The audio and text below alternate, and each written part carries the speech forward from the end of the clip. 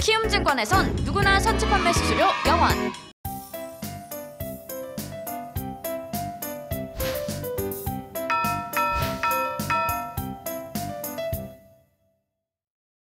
음, 팀장님, 예.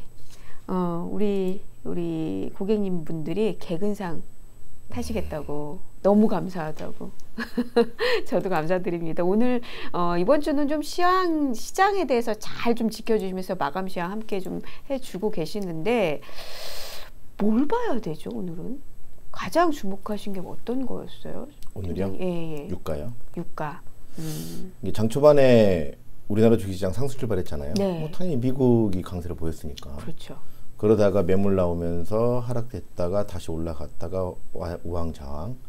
근데 이때만 오전까지만 하더라도 그러니까 국제유가도 뭐 별로 이게 플러스 한 4, 5% 정도. 음, 그렇죠. 이제 그건 이제 미국장 끝나고 나서보다는 좀 낮아지긴 했지만 그 정도 수준에서 왔다 갔다 했었고 그다음에 뭐 여러 가지 뭐 특별하게 지금 현재 방향성이 없는 가운데 그냥 관망세가 좀 컸죠. 네, 네. 그다음에 각 수급 주체들도 적극적으로 대응하지 않고 예, 보니까 그런 왜 그러냐면 예. 간단한 거죠. 실적이 계속적으로 위축되고 있는 가운데 주가는 올랐어요. valuation 높아지죠. 음, 그러니까 지금 뭐 여, 여기에서 뭐 적극적으로 대응할 수는 없는 거라서 그러다가 갑자기 오후 들어서 쭉 치고 올라갑니다. 음, 이게 국제유가가 이때 쭉 올라가면서 15% 정도 상승하면서 16달러 근처까지 올라갔거든요. 네, 네, 네. 그러다가 지금 다시 이제 하는데 말은 이런데요. 음. 사실은 돈의 힘이죠. 그죠. 보시면 네, 연기금 등 있죠. 연기금 등하고 이 보라색이 연기금 등의 매매 동향이고 음. 이건 주가 지수예요.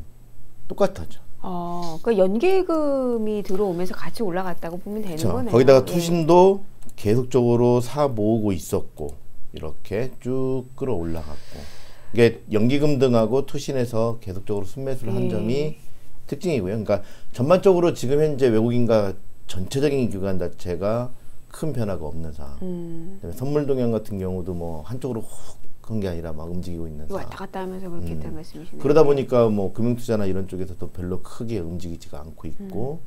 그런 상황에서 한 방향으로만 매수하고 있는 두 주체가 주가 지수를 끌어올렸다. 음, 그러니까 뭐 여러 가지 요인들이 있지만 그냥 돈의 힘인 거죠. 네, 그거에 의해서 올라갔다 보시면 될 것 같습니다. 예. 알겠습니다. 그냥 딱 정리, 딱 정리가 되네요. 음.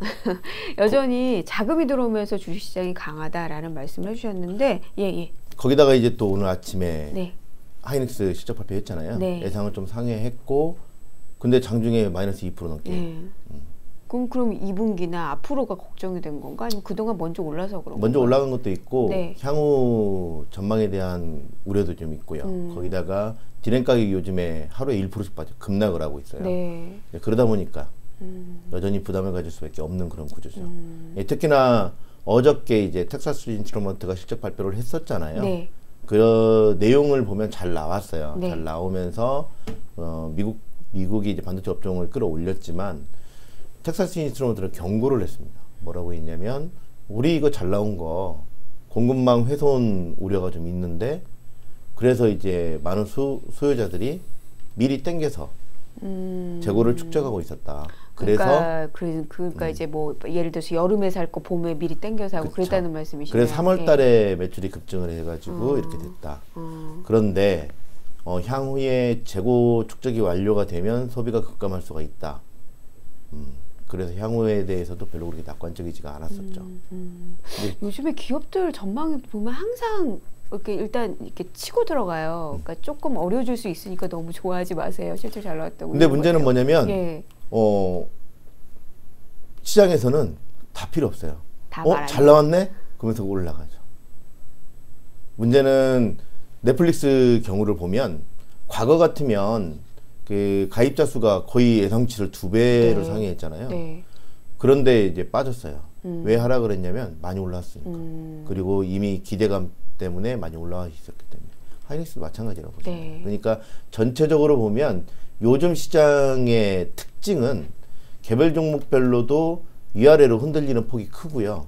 어제 미국 증시가 3% 정도 올라갔지만 하락했던 종목들 같은 경우는 되게 컸어요. 뭐 4, 5%씩 음. 뭐 바이오젠 같은 경우는 9% 급락을 하고 뭐 이런 식으로. 음. 네, 그런 식으로 장중 변동성이 되게 커지고 있는 개별 네. 종목별로 그러고 있는 도중에 그 코로나 이슈로 인해서 미리 올라갔던 애들 거기에 대한 기대 때문에 많이 올라갔던 기업들 같은 경우는 실적 발표 잘 나오면 음 그래 알고 있었어 하면서 매물이 나오고요. 음. 그다음에 실적 발표를 했는데 별로 안 좋게 나오면 이제 그 중에서 이제 지금은 이제 조금은 안정을 찾고 있으니까 투자 심리가 호재성 재료를 찾는 거죠 거기서 음. 찾아가지고 아 이래서 올라가는 거야라고 하면서 끌어올리고. 아, 그러니까 덜 오른 종목은 그런 식으로 해서 올라간다 말씀이시죠? 음. 근데 이제 이러다가 이제 어느 순간 갑자기 시장이 또 바뀌거든요. 음. 그게 국제 효과예요. 음. 국제 효과가 만약에 여기에서 갑자기 또 밀릴 수가 있거든요. 워낙에 하루에 2, 30%씩 움직이는 거는 옵션 시장이나 마찬가지거든요. 그러니까 옵션 보는 것 같아요 느낌이. 예. 그래가지고 그것 예. 때문에 지금 말이 좀 많아가지고 네. 거기다 또 오늘 같은 경우는 뭐 미국 미국이랑 영국 쪽에서 이상한 소리가 나와서 어떤 얘기일까요? 그러니까 국제 효과 네. 그러니까 사우디 아니 러시아가 네. 그 증, 증 감산에 합의하지 않는다. 음. 또- 그 전에 선물 거래를 한 번도 안, 해, 안 해봤던 사람들이 그 원유 시장 매도 선물 매도를 음. 많이 했다. 음. 미리 이제 내부 정보를 알고 있었던 거 아니냐 이런 식으로 해서 아, 조사가 들어갔어요. 한 번도 선물 거래를 안 했는데 갑자기 매도를 치는 거예요. 그것도 뭐 몇십억씩. 예, 그거는 그럼 무슨 정보가 있었다는 얘기 있다 그러는 거네요. 예, 그러면서 네. 이제 그런 식으로 이제 뭐 자신들의 뭐 어쩌고 저쩌고 그것들을 음. 그래서 미국 쪽하고 영국 쪽에서 그걸 좀 현재 조사 중이거든요. 음. 네, 그런 것들 음. 그거는 뭐 걔네들 말인 거고 음. 뭐 저- 정말 그러겠어요. 애를 쓰긴 쓰는 것 같아요. 그러니까 유가 안정을 위해서 각국이 다 애를 쓰는 것 같은데 그쵸. 그러기가 참 벅차게 시장이 움직이는 게 가장 큰 문제인데 어쨌든 저는 정말 솔직하게 트리거가 안 되길 바래요. 시장에 이제 하락할 수 있는 그런 트리거 안 되길 바라는데 일단 계속 시장에서 주목하고 있는 유가네요.